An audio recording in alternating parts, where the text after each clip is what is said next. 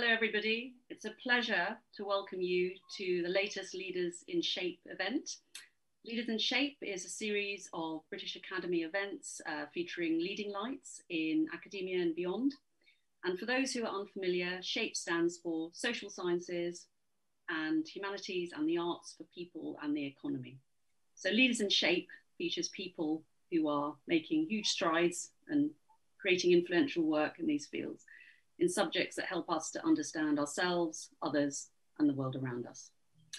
My name is Saba Salman. I'm a journalist, author, and editor, and I cover social affairs, broadly speaking, disability issues, and neurodiversity. I'm also the chair of the charity SIBS, which supports the disabled, uh, supports brothers and sisters of disabled people. And I'm also the very proud sibling of Rana, who is my younger sister who is neurodivergent and has a learning disability. Uh, so today's event is also part of the British Academy's Summer Showcase, which started today. Uh, this is a free festival of ideas uh, for curious minds and brings the best research to life in a range of fields, history, psychology, sociology, and more.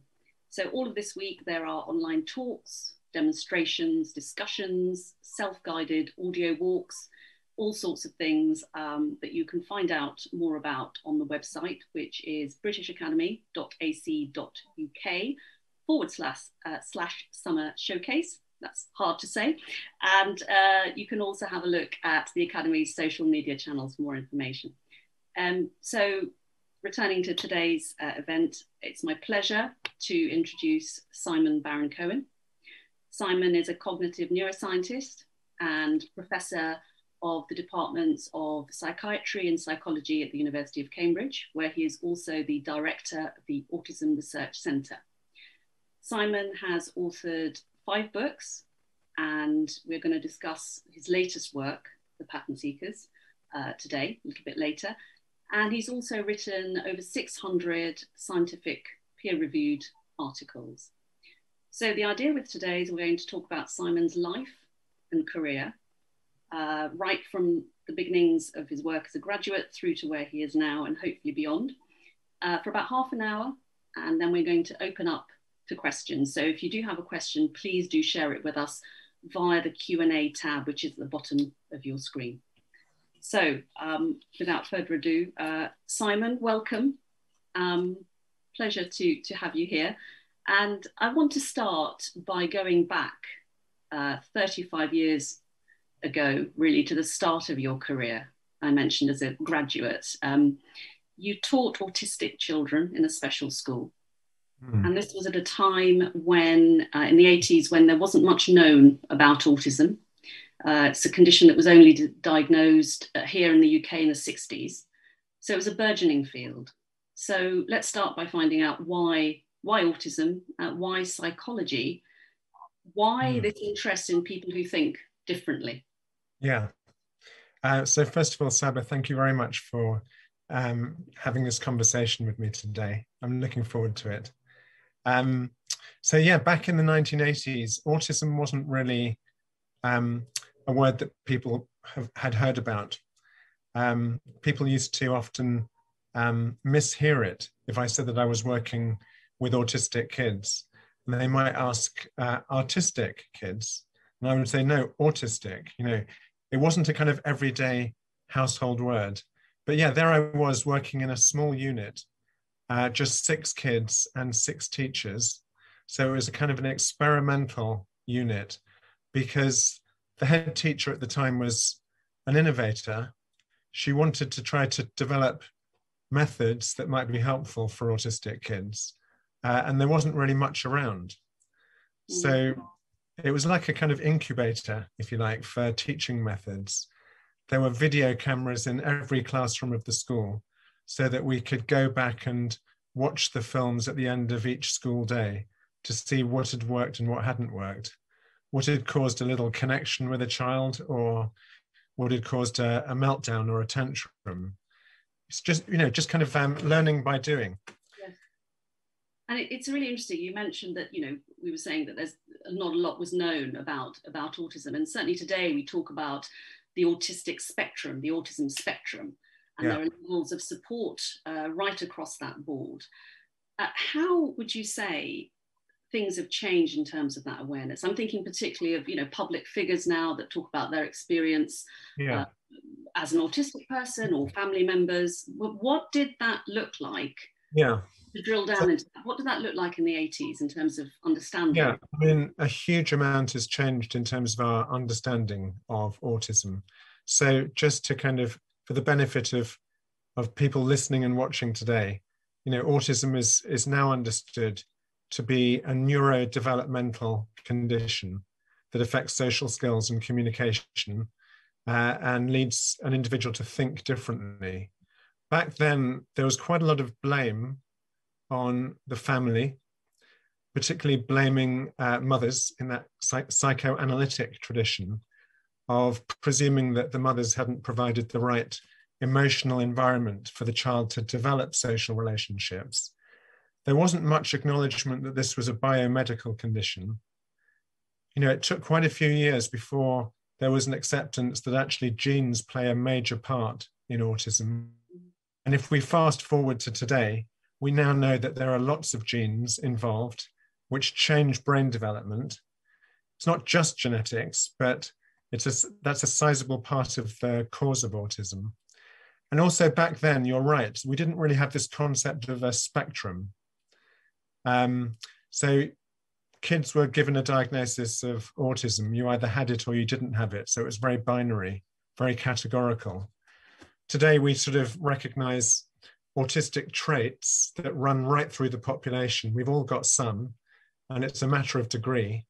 And it's a matter of whether, if you've got a lot of autistic traits, are they causing you difficulties such that you might need a diagnosis?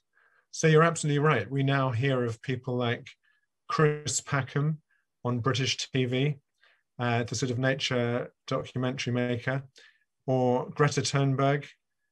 You know everyone knows her, but as well as being a climate crisis activist, she is also autistic. So, you know, we, we now see very different types of people included in the in the autism spectrum to back then, when often many of the many of the people with a diagnosis of autism also had learning difficulties, may, maybe minimal language.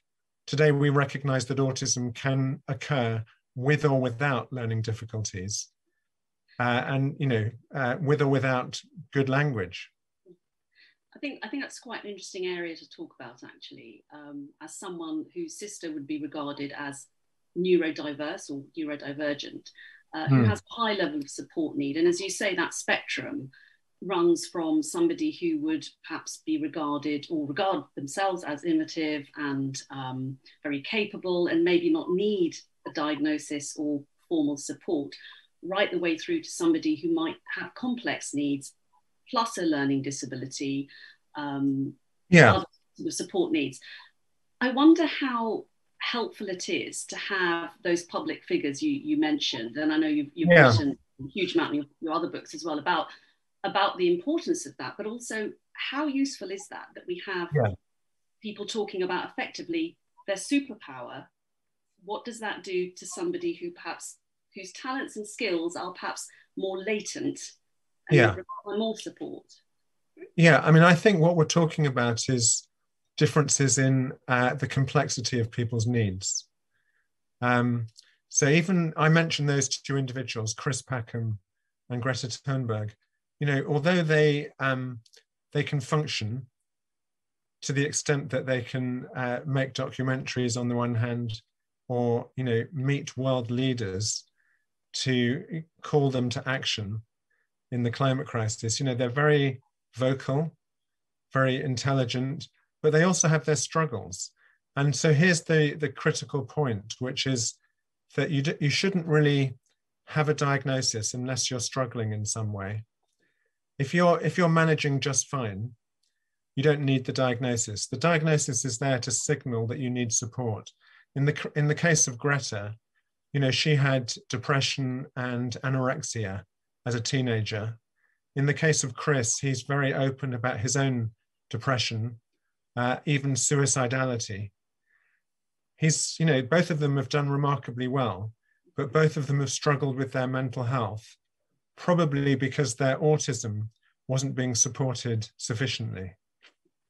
And I, would like to go on to discuss some of those issues, which I know your own research in you know uh, recent years has looked at the sort of the, the quality of life and the well-being aspect.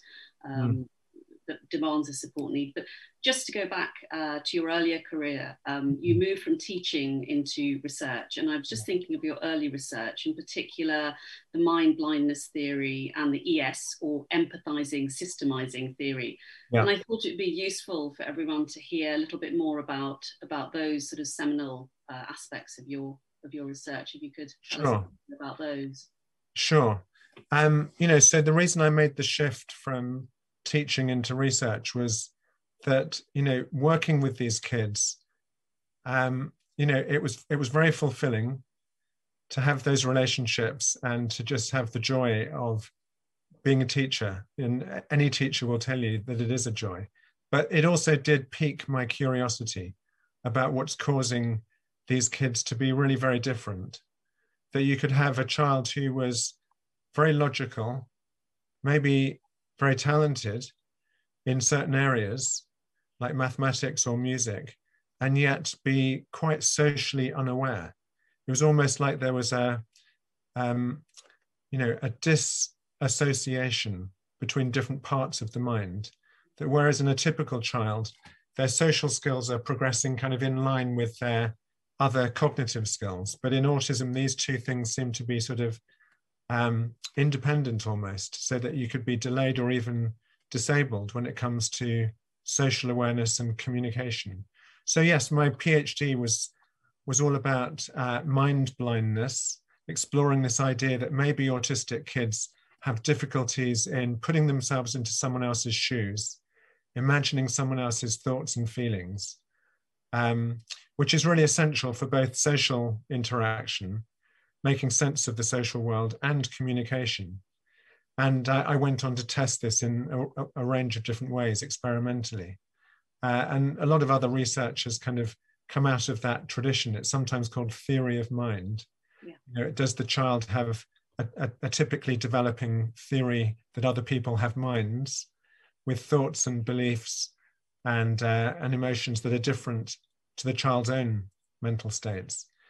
Uh, and then later, I kind of extended that into looking at um, not just the disability in autism, but also uh, the strengths, the cognitive strengths, in particular in something I called systemizing, which is the ability to understand a system.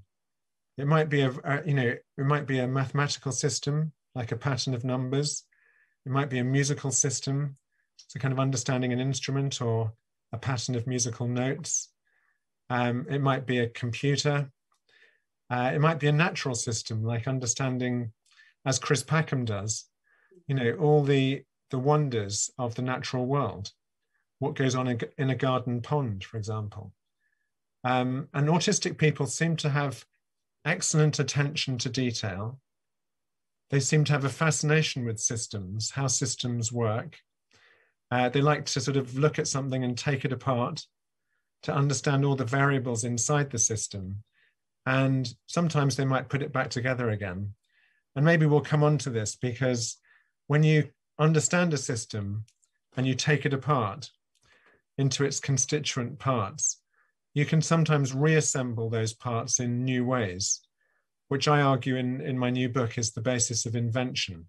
Absolutely. Yeah. Um, so, you know, um, there was, you know, for a long time, a lot of, of the research was about the areas that autistic people find difficult social skills, communication, and to some extent a neglect of the areas in which they think differently and sometimes actually better than the rest of us. And we will definitely come on to what you've just mentioned this idea of playing to someone's strengths and the potential of that, actually, not just for that individual, but for society and communities as a whole. Mm. Um, but while we're on the subject of your theories, I think it's, um, it's interesting to bring up some of the criticism that has been leveled at, at your work. And I'm thinking particularly of uh, sort of the press articles that describe you both as influential and controversial. Um, particular reference to the extreme male uh, brain concept, which essentially, I think, uh, describes the male brain as systemizing, as you've just said, but the female brain as empathizing. Um, and that has led to some comments that, you know, it's sort of neurosexist. Uh, it's a neurosexism in, um, in the theory. Also, could potentially lead to women being misdiagnosed or underdiagnosed and just playing to sort of those gender stereotypes. And I, I just wondered, as someone who you mentioned your latest work, which is all about um, talking about people's talents and where we are if we if we nurture those. How do you cope, or how did you cope with those sorts of criticisms and yeah. the challenges of that? Does it disappoint you? Does it frustrate you? How do you respond? Sure. Um, so back in the late 1990s, I became interested in the link between research in psychology that looked at typical sex differences on average. So if you took a group of girls and a group of boys, on average, do you see any differences? Uh, and the same with, you know, men and women. And the research in autism. And I did see some connections that I wanted to explore. So, you know, we'd known for quite a long time that girls on average talk earlier than boys, and that girls on average develop faster in their social skills. And we also knew that boys were overrepresented in autism clinics, you know, going for a diagnosis, uh, in clinics for language delay, you know, so clinically um, delayed language, for example, not talking by, say, three years old. Um, and I was kind of interested in what was the relationship between these two areas of research that weren't really connecting. Um, so I was looking at, we, we started talking about theory of mind, but I broadened it to the concept of empathy. So not just recognizing what someone might be thinking and feeling, but also reacting emotionally to what someone is thinking and feeling. And we developed various measures of both empathy and systemizing. And we, um, we, we, gave, we gave these um, tests to large groups in the population. Um, we've kind of recently published one that was 600,000 people using the empathy quotient and the systemizing quotient, so questionnaires where you just answer questions about how easily can you empathize and how interested are you in systems. And sex differences do emerge, but I have to use two little words, which is on average. That's to say, they don't apply to all males, they don't apply to all females. It's just if you took, look at the, these two groups, they're not identical, you know, they're overlapping. If you're familiar with the concept of a bell curve in the population, these are kind of overlapping bell curves. But in a large population, like 600,000 men and women, you do see statistically significant differences. Um, so back to your question about controversy. You know, I think anyone that conducts research in the area of sex differences is unavoidably walking into an area that is going to be controversial, is very open to being misunderstood, misquoted, misrepresented. You know, the, the findings, which have been widely replicated, um, show that on average, females score higher on empathy measures, and on average, males score higher on systemizing measures. And the link, of course, with autism is that we find autistic people score below average on empathy measures and intact or even above average on systemizing. So that was the kind of notion behind this idea that autism might be an extreme of the typical male profile. But I do recognize it's been that the language itself is um, is problematic. Um, that with the history of discrimination against women in the workplace and in many spheres of society, um, even sort of studying sex differences can be like a red rag to some people. Um, these days, I'm more prone to using different terminology actually, to just kind of acknowledge the you know the the the risks, the dangers with talking about a male brain or a female brain. So I talk more about a type S brain or a type E brain. They're kind of more neutral um, terms. We find that more women have a type E brain and more men have a type S brain. But, you know, I think maybe where the controversy came from was that some people uh, assumed that I was talking about all males and all females. And of course, any statement about the genders, you know, that you could make that apply to everyone of that gender would be discrimination. Uh, that was never part of the theory. But if you prejudge somebody on the basis of their sex, in terms of what kind of mind that they have, that would be sexist. That would be discrimination. And I, I'm very open about standing out, standing out against discrimination and sexism. But the theory can be misunderstood in that way. No, thank you for being so honest with that answer. I think there is definitely a wider conversation around the language of difference and how that's changed even the last sort of 10 to 15 years.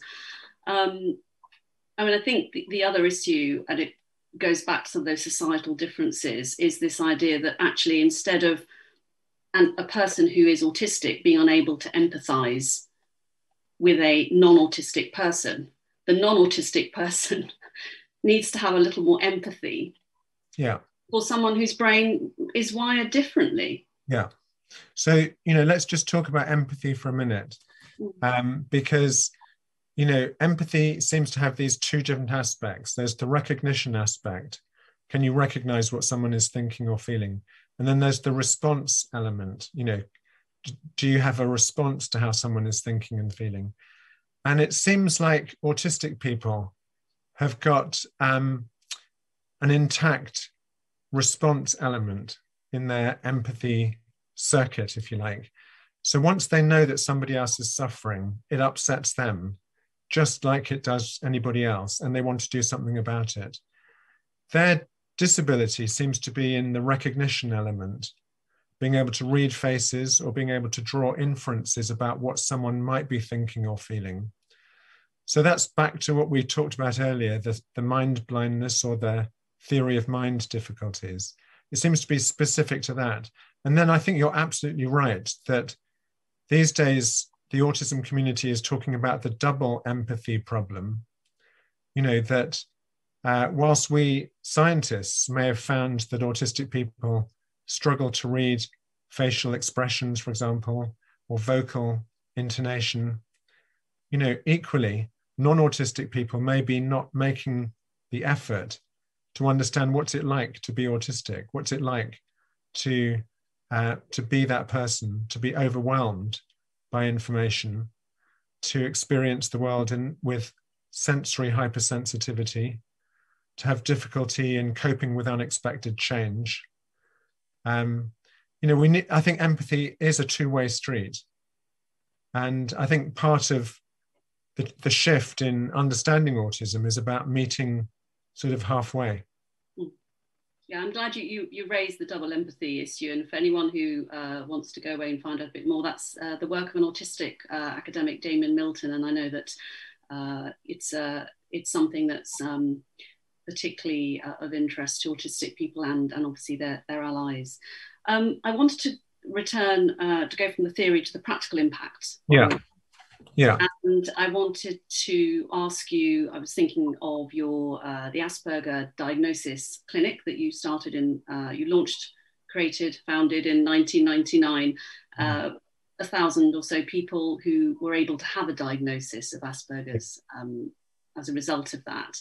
And also your, um, your questionnaire, the autism quotient, uh, which indicates through 50 questions yeah. if somebody is on on the, the autism spectrum. But hmm. looking back at those developments and those yeah. particular milestones, is is there one or are there one or two that you you're particularly you feel are particularly significant um, that stand out?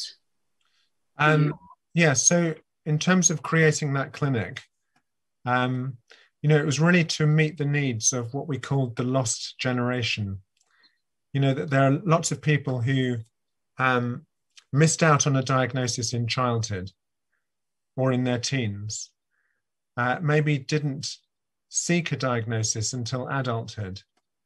So, you know, for the first part of their life, they were not getting support.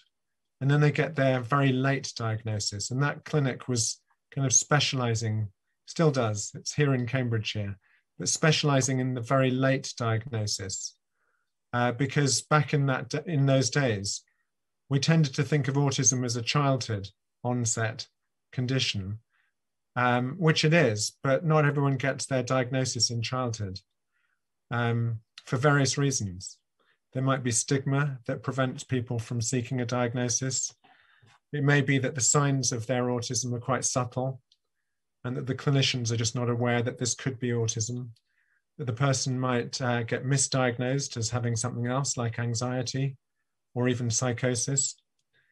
Um, or they may have just been muddling through with family support. And when the time came to make that step to independence in adulthood, they suddenly found that they couldn't cope. So, you know, I think it's um, it, it, it's it's very important that clinicians are aware that autism may be first diagnosed at any point in life. You know, we we had patients, quote unquote, coming to the clinic in their 60s for the first time, discovering that they had been autistic all their lives, but they they hadn't had a name for it. Mm-hmm. Um, and then you mentioned this measure, the autism spectrum quotient or the AQ. So that's a, another questionnaire uh, which we developed. Um, we use it as a screening instrument. It's not diagnostic, but if you score high, you know, you and you're having some struggles, then you might go to your GP and say, "Can I have a referral for a diagnosis?" Um, so it really just counts how many autistic traits you've got. Um, and as I said earlier, we all have some. So again, it's on a bell curve. Autistic people just tend to score much higher than other people. Uh, maybe linked to my new book that we'll talk about. When we gave the autism spectrum quotient, the AQ, to those 600,000 people in the population, well, we found a sex difference uh, that males, on average, those two little words again, score slightly higher on the AQ than females, something that's been found in literally dozens or hundreds of studies now. But we also found that people who work in STEM, science, technology, engineering, and maths, again have more autistic traits on average than people who don't work in STEM, which is a little hint of a link between autistic traits and uh, the aptitude for invention or understanding systems. And definitely we'll be asking about your book. Just before that, though, um, I wanted to squeeze in a, a question which deserves a much, much longer debate, but it's about COVID. I just wanted to bring you sort of back to what's happening now and the fact that some of the, uh, well, all of the inequalities that already face autistic people, particularly those with, with high and complex support needs, mm. education, employment, housing, social care support, all of those things, that's been hugely intensified by the pandemic. And I just wonder how we dismantle some of those barriers that were already so significant before the pandemic. What, what can we do? Just thinking of all of the sort of the, the well-being and then the quality of life issues that a lot of your work touches on. Yeah. Uh, you mean for autistic people? For autistic people specifically autistic people who have a higher support need. So i'm thinking for example autistic people were among those who were initially um, in the pandemic given do not resuscitate orders as a you know yeah. they had learning disability and also, if you had a learning disability and happened to be autistic, you were not a priority for vaccination, despite the fact that you were six times more likely to die from the virus. Yeah. So, just to take those, and there are yeah. many other issues, as we know. Yeah. Um, yeah. I mean, you know, um, you and I have something in common in that we we both have sisters with uh, quite complex uh, learning difficulties. Um, you know, those two those two examples you just gave, the do not resuscitate example, um, and you know, do not vaccinate, you know, both both of them are forms of of discrimination. We we have to call it as it is. You know, that people with learning difficulties should be entitled to the very same rights as everybody else.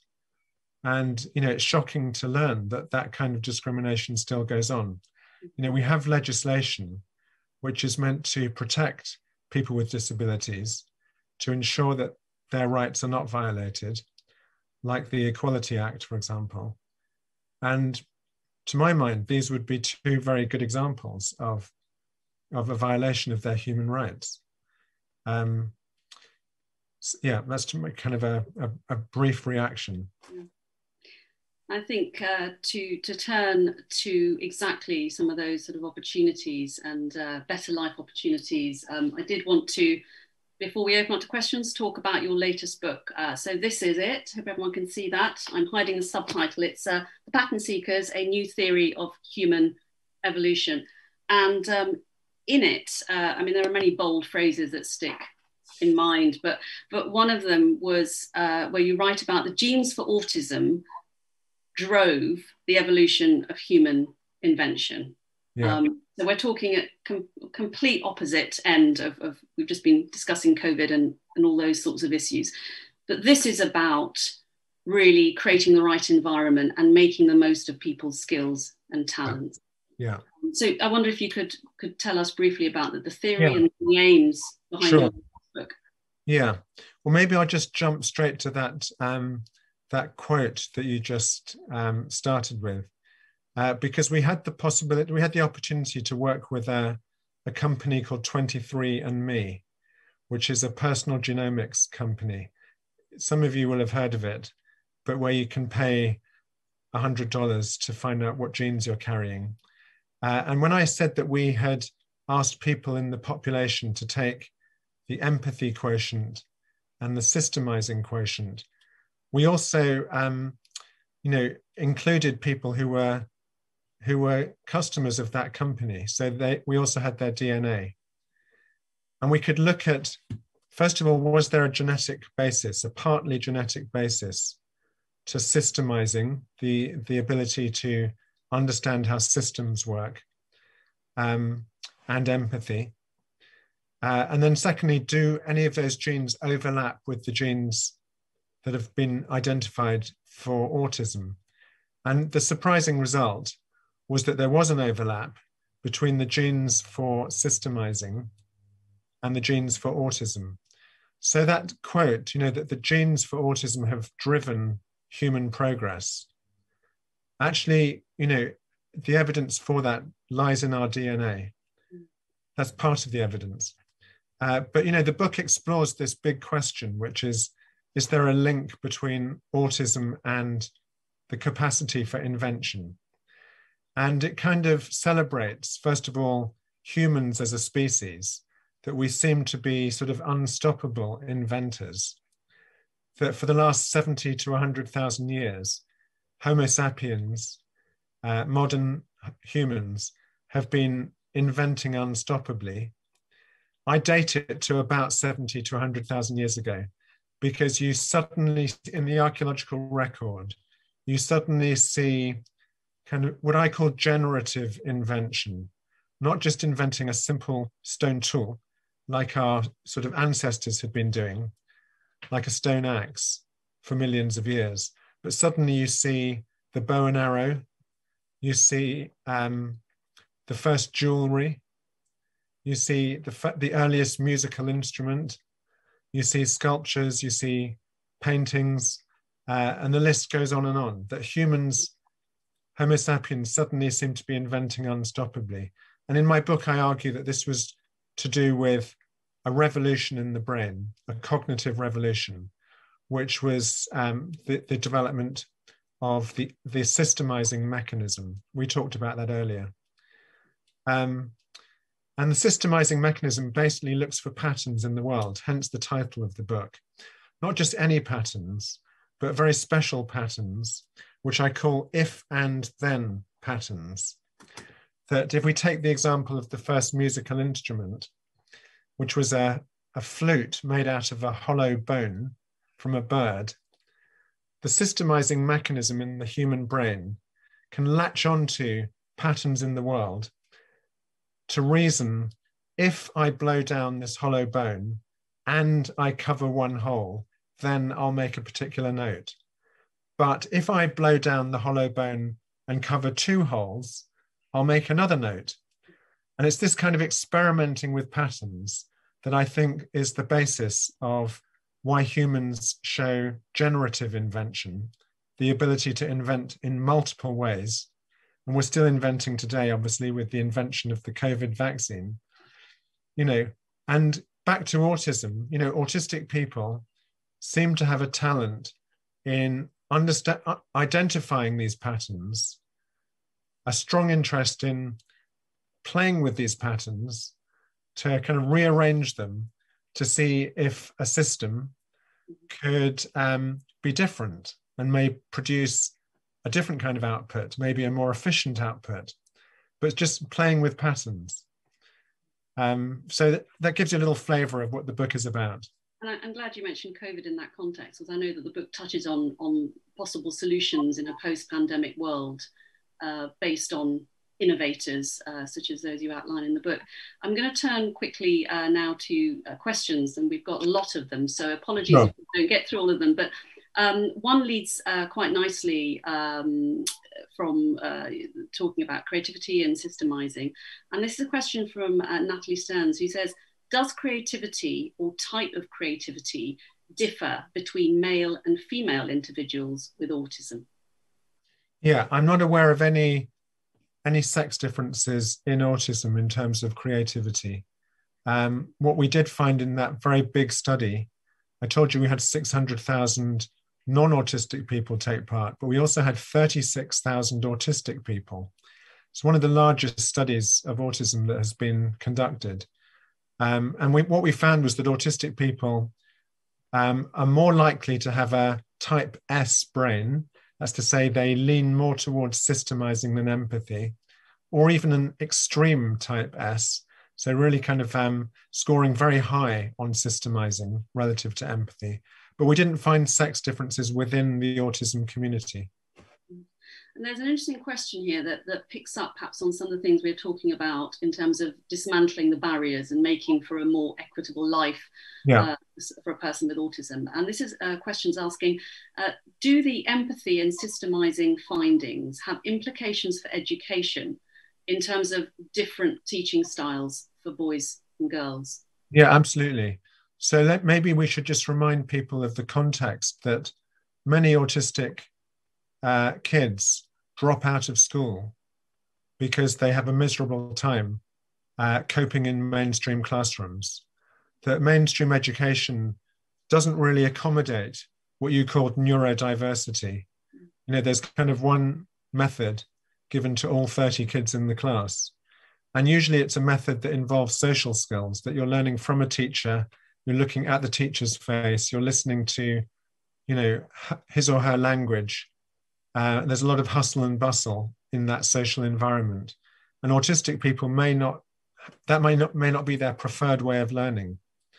So I think, you know, one of the kind of implications from this theory for education is that if we can identify kids, whether they're autistic or not, kids who have a different learning style very early on, kids who might prefer to learn through solitary play um, or who, or you know, learning um, just by doing, but not necessarily learning in a social or uh, you know by a, a, a very communicative context. Maybe we should be providing different kinds of teaching materials, different kinds of teaching methods for different kinds of minds. What we found in our big study was that you can basically subdivide any population into five different brain types. We've talked about type E and type S. There's a third one called type B for balanced, that they seem to sort of have a mix of both empathizing and systemizing skills uh, at equivalent levels, and then the extremes. But we, we should be able to identify these, these learning styles, these differences in the way children process information at a very early point. And in that way, we can tailor teaching materials to the child. You know, education's always been about taking an individualized approach. Um, we can't necessarily do that for every individual, but we could go some way towards that by recognizing different profiles in any classroom and uh, you know just kind of making sure that each child is in what would be their optimal comfort zone for learning because if someone's stressed they're not going to learn absolutely and i think as you say we have the evidence that this works there's a demand for, for that response uh, from families and individuals. It's just the actual response that's uh, somewhat lagging, to put it mildly. Um, just going back to something we discussed earlier about uh, autistic uh, people who may also have an additional support need um, in terms of social care or learning. And uh, someone was asking, why are some people with learning disabilities also autistic? Um, is there any connection between the two conditions? Um, and someone else asking, you know, is there could there be a connection between physical disability and yeah. autism? Yeah. Uh, now this is a great question. Um, so you know, I think basically what we now understand is that uh, some people may just have autism alone, but many autistic people have um, co-occurring conditions. Uh, in medicine, sometimes they're called comorbidities, but it's kind of an ugly term. So we just use the word co occurring. And that can be a learning di- disability, it could be a physical uh, or uh, medical condition like epilepsy or gastrointestinal pain. Uh, quite why one individual might have these multiple conditions and another one not is likely to lie in the area of prenatal biology, particularly genetics. And we're just uh, starting new research to look at whether there are subgroups in the autism population based on their genetics, but also maybe based on pregnancy factors, which could affect both brain development and physical development to lead to these different subgroups in the population. So the short answer is, you know, this, this is still an area of active research. We, we don't yet know, but there certainly are some genes which predispose to learning disabilities. It's very interesting to know where your next uh, area of work lies as well, which was uh, one of the questions we, we didn't quite get round to, to looking at. I think we have time for, for one, possibly two um, additional questions. Um, we have a question here um, about uh, the fact that you, you referred in our early conversation about all of us having autistic traits. Um, and so we wondered, could you list the most common autistic traits in non-autistic people? Is, is that possible? Is that something you? Yeah. Um, so um, when I say that we've all got some autistic traits, this goes back to that measure I mentioned, which sounds a bit circular because it's kind of putting all the onus on this this questionnaire to define what we mean by an autistic trait. But you know, the questions would include things like, I would prefer to go to a library than a party. You know, and you just you're just asked whether you agree or disagree with each statement. So some people, you know, it's it's their worst nightmare to go to a party and have to socialize. And it's their idea of heaven to go to a library and just spend quiet time. So that just gives you an example of an autistic trait. And this questionnaire has 50 such questions. You know, another one might be um, how, about how easily you can remember people's phone numbers, especially the kind of long mobile phone numbers that we have these days. You know, and some people can do that effortlessly. You could ask them, you know, what's what's so and so's number, and they can just reel it off. So these are differences in attention to detail, patterns in numbers, whether we should call them autistic traits, they're just traits, really, aren't they? And we group them as social. Um, some of them are attentional, about how you allocate your attention. Some of them are to do with memory. But if you add them all up, what you find is uh, how many autistic traits you have, or of these traits you have, and that autistic people tend to have a lot more of them. So in the in the general population, people on average score 15 or 17 out of 50. Autistic people tend to score about 30 or higher out of 50. It just gives you an idea of the magnitude. Um, interesting that you referred again to autistic traits and uh, so much of what we've discussed today goes back to the, the kind of the, the, language of difference and how things have moved on and you know even looking back at your at your career over the last three decades um, i know we have um, many more questions uh, which i'm afraid we haven't got time for but thank you to everybody who's who's uh, sent in their questions for, for simon really uh, fascinating discussion thank you so much simon baron cohen uh, for your time. Uh, thank you to everybody for joining and for questions. Uh, just want to remind everyone that the Summer Showcase is on all of this week. Uh, go to the website and social media for more. And the next uh, Leaders in Shape event is with Bridget Kendall, ex-BBC correspondent and master of Peterhouse, Cambridge, and that's on July the 12th. So thank you, everybody. Thanks again, Simon and the British Academy team, and hope everybody enjoys the rest of the afternoon and evening. Thank you, Sam.